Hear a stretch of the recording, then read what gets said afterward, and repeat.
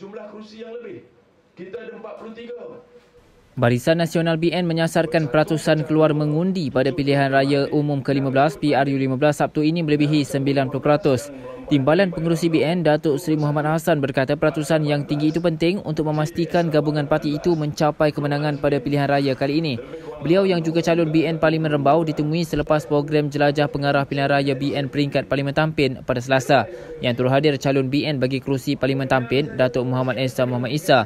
Muhammad yang juga timbalan Presiden AMNO merangkap pengerusi AMNO Negeri Sembilan berkata, BN sudah menjalankan kajian sikap pengundi sejak berakhir PRU14 pada 2018. Beliau berkata berdasarkan data gabungan itu sehingga kini banyak kawasan di seluruh negara yang sudah melepasi separuh sokongan pengundi terhadap BN. Kita dah buat perancangan pembangunan selama 30 tahun. Malaysia Vision Valley, pembangunan yang besar bukan untuk Negeri Sembilan saja tapi untuk negara. Daripada nilai sampai polis